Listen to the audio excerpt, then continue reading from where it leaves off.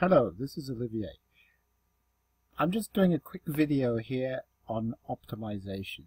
Now, it's a real pity not to use the self-optimizing feature that will come later. Um, but at the moment, I'm testing that feature. But at the moment, I just want to show you how to optimize the EA. Now, uh, it's very simple and it's just a pity more people aren't using it. So I'll do it very very quickly. Uh, you can see here, okay, this is the normal chart with some bands. Um, this is what my EA does. If you look at my previous videos, it will tell you what, what, what my strategy is. Um, basically is to is to be in a position where you are below the bands where it does something quite magical or above the bands and does something quite magical I've got a little circle here, so something happened here and something happened here. So this was a pretty good trade today.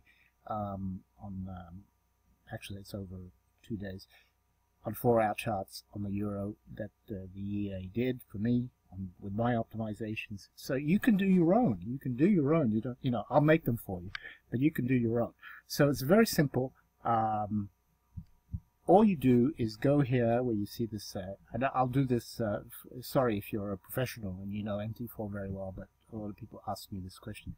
You see here the sign with a little magnifying glass, you click on that, it says strategy tester. You open that, and uh, you would have up here uh, all sorts of EAs that would be inside. Uh, you would want to go to the mark, market A black box. Okay, you want to put the symbol here euro. Okay, every tick here. You want to put your date. I usually start from. Uh, well, this is not a good idea, but you know you want to start from. You want to start from January 2005, 15, for instance, and and go to today. Okay, today.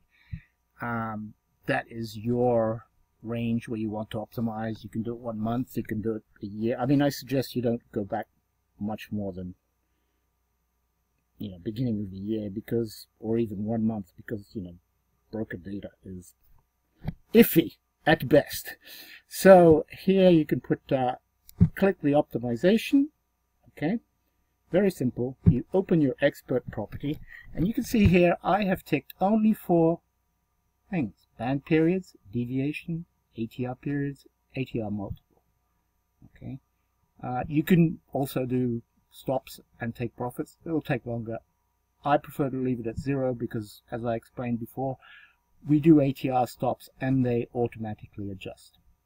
Okay, you just put in a value. You must put in a stop value here, otherwise it doesn't work. Uh, you can put zero here, take profits.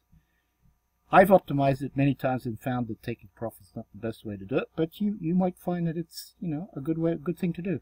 This is the beauty of this EA. I can't stress it enough you can go in there and do your own optimizations. You can do optimizations, you know, morning and evening. I mean, I will do a self-optimizing version, but it's good to do it yourself, honestly. You learned a lot. Um, so what you do here, you have band periods here. Um, you can start from, you know, and then you have to put in a range, okay, to optimize. An optimization range, very simple. So I start at 20 and go to 120, you can see here, and with a one step, basically.